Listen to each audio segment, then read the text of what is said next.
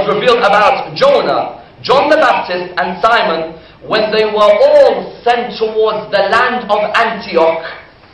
In the Bible, you can find out about the land of Antioch. It's mentioned in, in, the, in the book of Acts. If you go in the Bible, the book of Acts, speaks about the missionaries who were sent to the land of Antioch. When they were sent to the land of Antioch, who were they?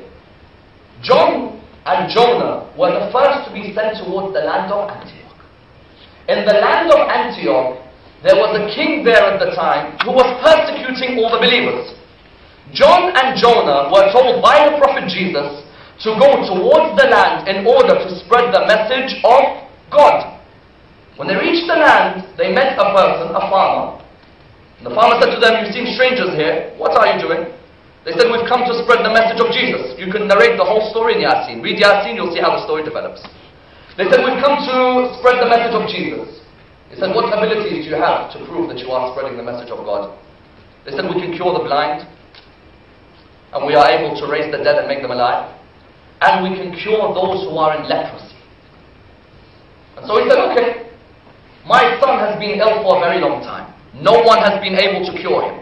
If you can cure him, then I'll believe that you are the disciples of a prophet of God. They then were able to cure his son. He then takes them into town. When he takes them into town, they are able to bring many people towards the religion. However, Hello everyone peace of the Lord with everybody. Uh, so we heard this guy, this gentleman, supposedly he is a teacher teaching in Islamic university, and the brothers and sisters, which mean the Muslims, are listening to him. I hope no Christians are listening because you know uh, they want to deceive each other. Fine, but will, we will never allow them to deceive us. Uh, you heard him saying that the surah he did mention it's talking about the three disciples of Jesus Christ and those are Jonah and Simon and uh, John I believe he said right but if you go to his own book you will see that's what he said it was not true because there is a name Muslims don't want to mention what is that name it is Paul now this is the verse Surah 30, uh, 30, uh, chapter 36, verse number 14. When we first sent to them two messengers, they rejected them, but we strengthened them with a, with a third. They said, Truly we have been sent a mission to you. Okay, so in here Allah saying, Who is the one who sent? We. Who is we? It's mean Allah. He sent the first two. To what? To messengers. They rejected them. So those two messengers, they could not you know, prove themselves. They, they did not do the, the great job. So Allah, He sent a third one. And sound like He is the best. Because we strengthened them with the third. This is a support.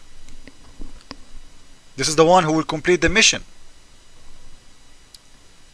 You heard him saying that those are the three disciples of Jesus Christ. Before we explain that, let us go to explanation of Ibn Kathir, you can go there. This is official government website of Saudi Arabia. This is how you do it. You click in the first option, this is Ibn Kathir, this is a Jalalain, this is a Tabari, this is Al Qurtubi. This is Ibn Kathir, the first one. We click in here, the page will switch in Arabic. And Ibn Kathir explanation will open to you. You see, it says Ibn Kathir. And this is the government of Saudi Arabia website. Official approved books in there. You will see the explanation saying in their explanation that the names of the messengers the first two messengers was Simon and John and the third one is Paul this is why I accuse this teacher to be a liar because it doesn't say any other name except Paul and Muslims always attack Paul. He, Paul, he is the one who corrupt the Bible. Paul, Paul. But suddenly Paul is a prophet of God in their Quran. And I think, and I believe all of you, you heard him saying that those messengers, they will do miracles. Messengers, they will do miracles. In the same page of Ibn Kathir, they, you will see they are saying they are the messengers of Jesus Christ. They are the messengers of the Messiah. and those messengers they do miracles and the Quran saying they are the messengers of Allah messengers of God so in the same time they are the messengers of Messiah. So Messiah can send prophets he can send messengers. If he is just a prophet how he can do that? And before we explain more let us do something so people in here they will not because I know Muslim they will say you are a liar this is not a true translation etc you can go to that page with me and you can copy the text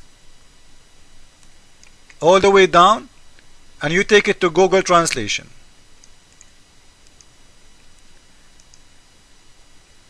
Where is Google translation? Here we go. This is Google translation. You post you paste the, the text in there. And you click you choose it from Arabic to English. And you click translate and the translation will show in a second. Google translation is not, not very accurate but it's more than enough to show the lies of Muslims. The name of the first apostles Simon and John and Paul. The word third they translated as three because the verse saying the third one. So Paul you see it why he did not say Paul when he was teaching in the university? Because he is as the same who do teach about Islam to people who don't speak Arabic. They would love to cover the lies. Because if they say Paul is a messenger of Allah, how they can attack Christianity? It doesn't work anymore. What is the name of the village? It's Antakya. In Arabic we say Antakya or Intakiya. So we proved in a second that those are the three messengers. They are Simon and Paul and John and Paul. And the strong one is Paul. So Paul is the best. And this is from their book. As you see, we just copy the explanation from Ibn Kathir as it is and we click translate. And you can, I advise you to do that. Just to be sure that I'm not giving you garbage.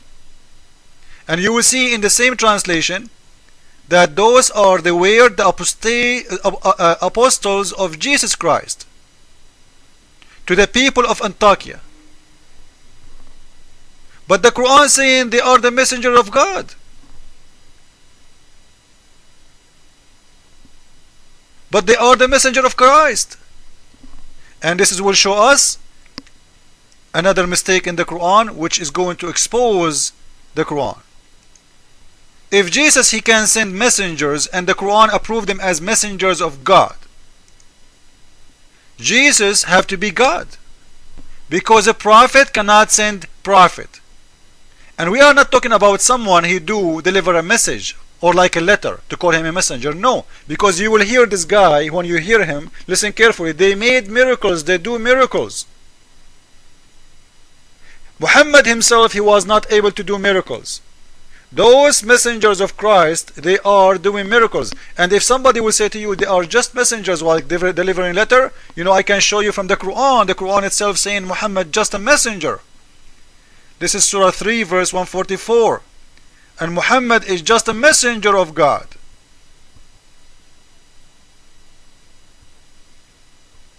So he is no better than those.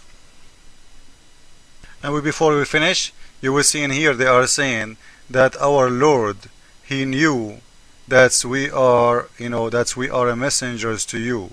Our Lord you know our Lord. In the translation in Arabic our Lord. And they just say they, they are the disciple of Jesus Christ. So Rabbuna in here it goes to Jesus because he is the one who sent them. You see how they lie Anyway, so I hope you will enjoy our video. You can play the video again so to hear this guy that the messengers of Jesus Christ can do miracles. And Jesus Christ, he can send messengers. They are the same and better than Muhammad who himself could not even make one. One miracle. Why?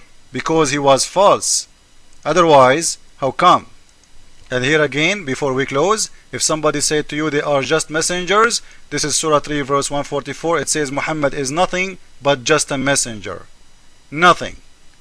and they are messengers and the Quran saying they are messengers of God and this is a proof that Jesus Christ is messenger or God for sure he is God because messenger cannot send messengers or prophets who can do miracles no one can give you the ability to do miracles except God Jesus is Lord Islam is false Amen